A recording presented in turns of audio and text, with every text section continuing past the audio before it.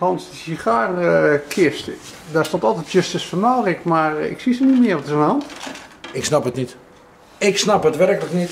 Het oudste sigarenmerk van Nederland heeft besloten om ongeveer 15 van zijn modellen, ook mijn favoriet, de zogenaamde after dinner, om die uit de productie te halen.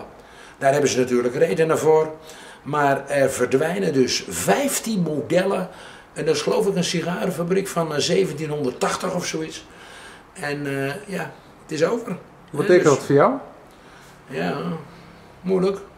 Moeilijk. Hoeveel doosjes gaan er do- door je handen elk jaar? Nou, eh, vijf in de week. Dus maal 50 is 250 doosjes.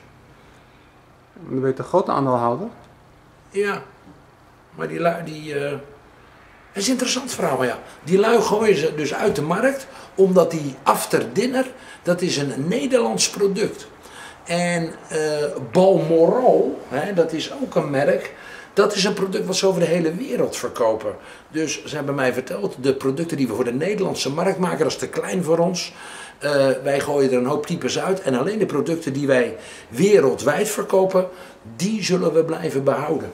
Dus hun Nederlandse modelletjes, en dat zijn er veel, die gaan eruit.